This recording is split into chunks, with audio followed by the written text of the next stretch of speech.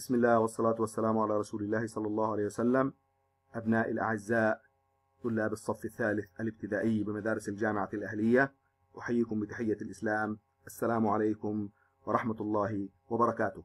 وعبر منظومة التعليم عن بعد أبدأ معكم درسا جديدا من دروس مادة الفقه والسلوك ويكون بمشيئة الله تعالى آخر ويكون آخر درس من دروس هذا العام.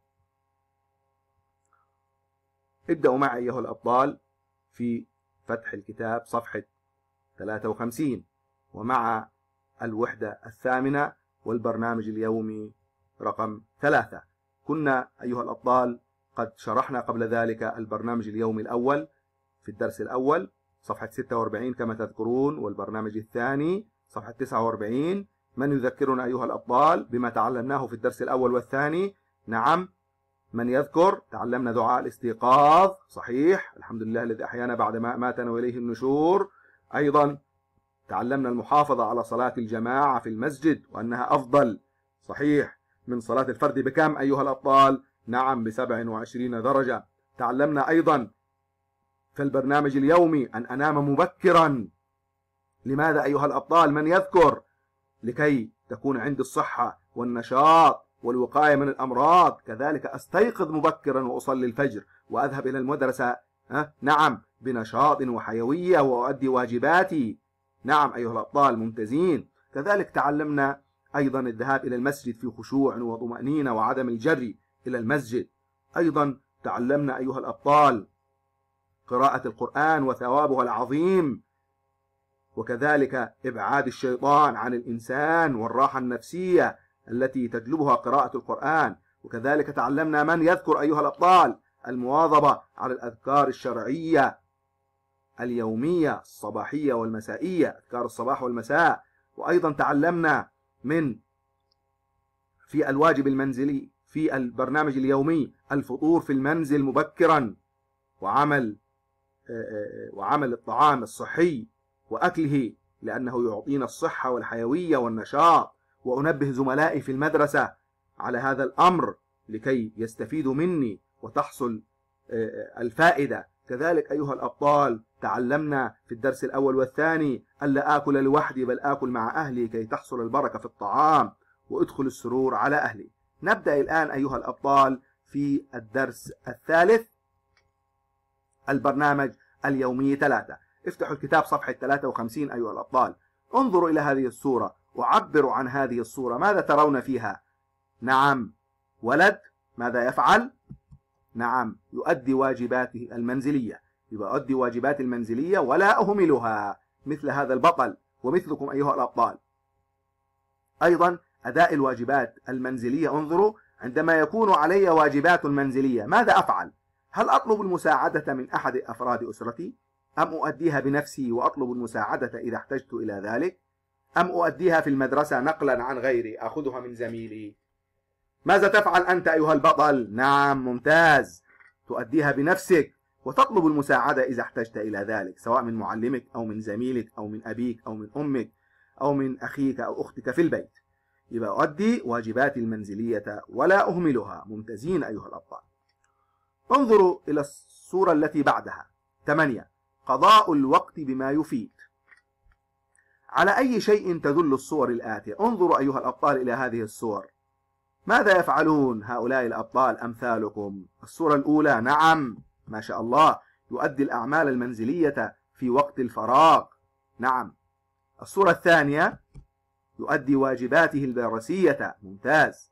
الصورة الثالثة نعم يقرأ القرآن ممتاز يحفظ ما عليه من القرآن الكريم. يبقى لابد أن أقضي وقتي بما ينفعني في ديني ودنياي. نعم أيها الأبطال ممتازين تسعة خدمة الوالدين ومصاحبتهما عند زيارة الأقارب. كيف أخدم والدي؟ أتعاون مع مجموعتي في ذكر أمثلة على خدمة الوالدين. تعاون أيها البطل مع زميلك وزملائك ونبحث ونفكر في الأمثلة على خدمة الوالدين. نعم من يقول؟ نعم. أنفذ طلباتهما ممتاز. شيء آخر. من يقول أيها الأبطال نعم أحسن إليهما. ممتاز. شيئا ثالثا. نعم أعمل على راحتهما قدر استطاعتي. نعم. طالب الرابع ماذا يقول؟ نعم أبتعد عما يغضبهما. ممتاز. أيها البطل.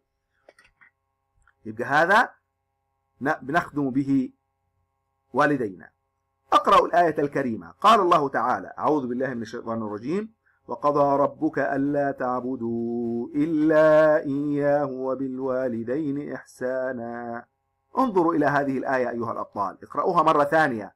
وقضى ربك ألا تعبدوا إلا إياه وبالوالدين إحسانا. في هذه الآية الكريمة أيها الأبطال أمران عظيمان. قرن الله بينهما. من يرى؟ انظر إلى هذه الآية.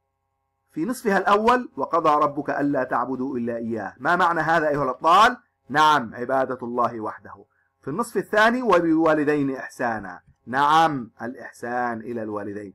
يبقى لعظم فضل الوالدين علينا أيها الأبطال. قرن الله سبحانه وتعالى الإحسان إلى الوالدين بعبادة الله في آية واحدة. ممتازين أيها الأبطال. ما شاء الله.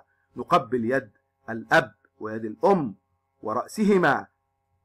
ونطيعهما أيها الأبطال كلكم تفعلون ذلك ما شاء الله عليكم ننتقل إلى النشاط طلب الأب من ابنه عبد الملك أن يرافقه في الذهاب لزيارة جده فماذا عليه أن يفعل؟ طلب أبوك منك يا بطل أن تذهب إلى جدك ماذا تفعل؟ هل توافقه وتذهب معه؟ أم تلعب وتترك الذهاب مع والدك؟ آه نعم من يجيب كلكم ماذا تفعلون أيها الأبطال نعم يوافق ويذهب معه. ممتاز. كما تفعلون أنتم. النشاط الثاني. أذكر بعض الآداب التي ينبغي أن أتأدب بها عندما أزور أقاربي. عندما تزور إلى أقاربك أيها البطل هل تعبث بألعاب أبنائهم؟ هل تفسد راحتهم؟ هل تضايقهم؟ لا. أول شيء لا أفسد ألعاب أبنائهم. ممتاز. ماذا تفعل أيضا؟ اذكر لي أيها البطل. نعم. لا أرفع صوتي ولا أحدث ضجة عندهم. ممتاز. نعم. طالب آخر. نعم أيها البطل. ممتاز. أحافظ على أثاث المنزل ولا أعبث به ولا أضايقهم حتى يحبون زيارتي. نعم أيها الأبطال. عشرة. البعد عن إيذاء الآخرين. انظروا إلى هذه الصور أيها الأبطال. أتأمل الصور التي أمامي ثم أبين أنواع الإيذاء فيها. هؤلاء الأولاد يفعلون أشياء لنرى هل هي سيئة أم طيبة. الصورة الأولى ماذا يفعل هذا الولد؟ يمسك حجرا في يده ويطرق على الباب. ماذا يفعل؟ نعم تشويه أو كسر الباب. صحيح. الولد الثاني ماذا يفعل بالماء؟ نعم يبذر الماء التبذير في الماء. الولد الثالث ماذا يفعل؟ يمسك هذا الشيء ويكتب على الجدران. نعم الكتابة على الجدران. ويخرب الجدران ويشوه منظرها. ماذا يفعل هذين؟ هذان الولدان. ماذا يفعل هذان الولدان؟ نعم المشاجرة بين شخصين يتشاجران. ما رأيك في هذه الأفعال أيها البطل؟ سلوكيات خاطئة نعم. وإذا رأيت ولدا يفعل ذلك أنصحه وأحذره من هذه الأشياء السيئة. أما أنتم فلا تفعلون ذلك أيها الأبطال ما شاء الله عليكم. التقويم. أذكر السبب فيما يلي. انظروا حرصي على تأدية الواجبات المنزلية. لماذا تفعل ذلك أيها البطل؟ أنت؟ نعم تحرص على تأدية أنت تحرص على تأدية الواجبات واجباتك المنزلية. لماذا تحرص على ذلك؟ خوفا من المعلم أو خوفا من والدك أم لشيء آخر؟ نعم لكي تنجح. نعم وتتفوق. يبقى أحرص على تأدية واجبات المنزلية لكي أنجح وأتفوق في صفي ممتاز أيها البطل. اثنين أحرص على زيارة أقاربي مع والدي طاعة لله عز وجل الذي أمرنا بصلة الرحم. ألف ومن الأقارب من يعدد الأقارب أيها الأبطال؟ أعم أنت أيها البطل. نعم ممتاز. الجد والجدة والعم والعمة والخال والخالة وغيرهم. باء ما رسالتك لمن يقصر في زيارة أقاربه؟ لو أن أخاك يقصر في زيارة أقاربه أو زميلك في الفصل ماذا تقول؟ ماذا تقول له؟ نعم. أقول له صلة الرحم واجبة على كل مسلم وفيها ثواب عظيم فاحرص عليها أيها البطل. ممتاز. ثلاثة أختار التصرف الذي يعجبني. دعاني أبي وأنا أذاكر دروسي. أنت تذاكر دروسك؟ وأبوك, وأبوك دعاك. هل تكمل المذاكرة ثم تذهب إلي؟ أم تجيبه ثم تعود للمذاكرة؟ واحد. نعم أجيب ثم أعود للمذاكرة. ممتاز أيها البطل. أربعة. نهى الإسلام عن إيذاء الآخرين. أعبر عن هذا المعنى بأسلوبي. كيف تقول؟ ماذا تقول أيها البطل؟ نعم. يجب على المسلم أن يحرص على عدم إيذاء الآخرين بقول أو فعل أو إشارة أو حركة سيئة. هكذا أيها الأبطال نكون قد انتهينا من الدرس الثالث من دروس الوحدة الثامنة. درسنا البرنامج اليومي الأول والثاني والثالث.